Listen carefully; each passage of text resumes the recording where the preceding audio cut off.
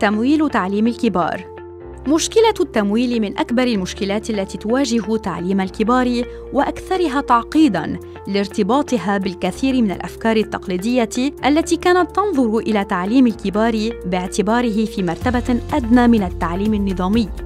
أهمية تمويل برامج تعليم الكبار على الرغم من الزيادة الكبيرة في أعداد المشاركين في برامج تعليم الكبار على مستوى العالم، إلا أن تعليم الكبار يعاني في معظم دول العالم من نقص في التمويل وذلك للعديد من الأسباب، من أهمها ضعف إحساس صناع القرار بأهمية تعليم الكبار مقارنة بالتعليم النظامي.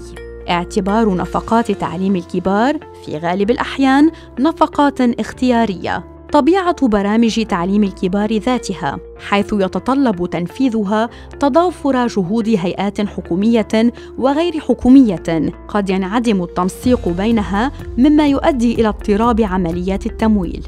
ولعل مشكلة نقص التمويل هي التي تدفعنا إلى طرح التساؤل حول أهمية تمويل تعليم الكبار. ترجع أهمية تمويل برامج تعليم الكبار إلى العديد من الأسباب. من اهمها أن برامج تعليم الكبار صارت تتمتع بنفس القدر من الأهمية وتؤدي نفس وظائف التعليم النظامي في ظل التطور المعرفي والتكنولوجي الذي أذاب الحدود بين التعليم النظامي وغير النظامي. اتساع دائرة جمهور تعليم الكبار وتنوع احتياجاتهم.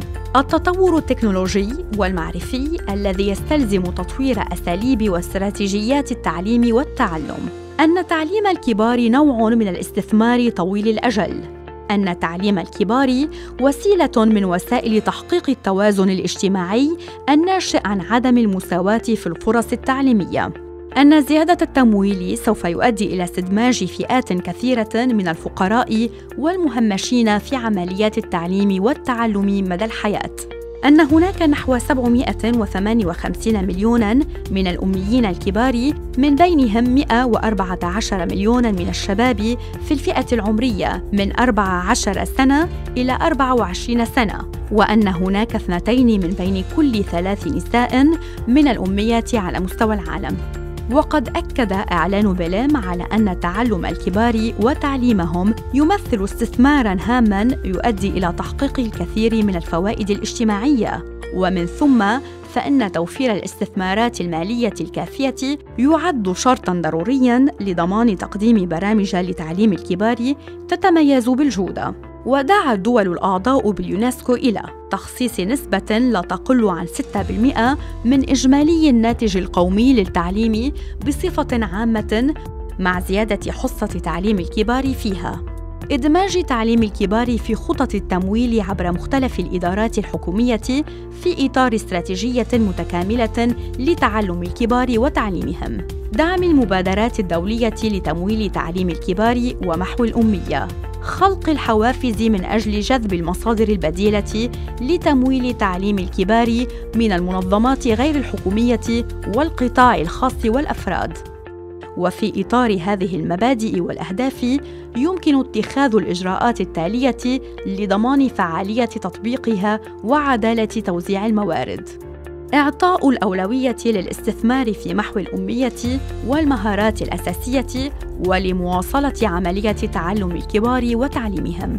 إعطاء أولوية في الاستثمار في تعليم الكبار للفئات المهمشة والمحرومة وخاصة ذوي الإعاقات.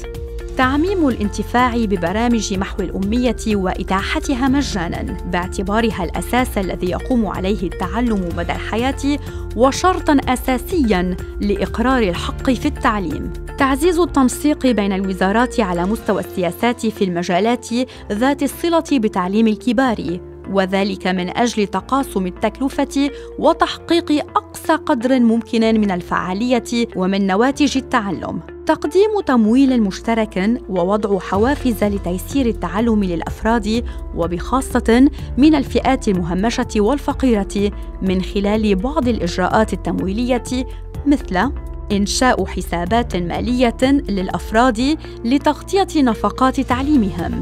تقديم الإعانات المالية المباشرة، تقديم القروض التعليمية الميسرة، القصائم والبدلات التعليمية، ودعم الإجازات مدفوعة الأجر لتدريب العاملين إخضاع تخصيص الموارد واستخدامها لمبدأ الشفافية، الحرص على مراعاة الأولويات التي تم اعتمادها وفقاً لنتائج دراسات وبحوث الوضع الراهن لتعليم الكبار.